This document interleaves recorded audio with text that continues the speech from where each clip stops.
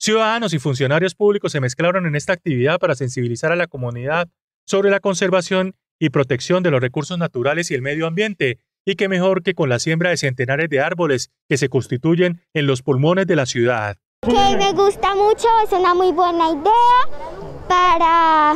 eh, mejorar el medio ambiente, para que la gente no bote basura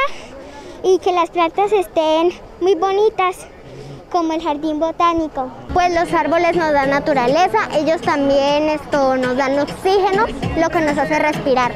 Entonces ayudan mucho y pues yo creo que por eso estamos haciendo esta plantación de árboles. La alcaldía de Florida Blanca, la CMB, el área metropolitana y la policía de Bucaramanga lideraron esta iniciativa ambiental que garantiza el futuro crecimiento armónico y el desarrollo sostenible de una amplia zona de reserva forestal de la región. Una actividad fundamental que no se nos puede quedar en una foto, no se nos puede quedar solamente en un día que se realizan este tipo de actuaciones, sino que verdaderamente todos debemos estar en ese propósito de proteger nuestro medio ambiente, de conservarlo y dejarle a las generaciones venideras un mejor futuro y un mejor medio ambiente. Jornadas como esta se realizarán periódicamente en los diferentes sectores urbanos del área metropolitana de Bucaramanga para garantizar un ambiente sano y una mejor calidad del aire.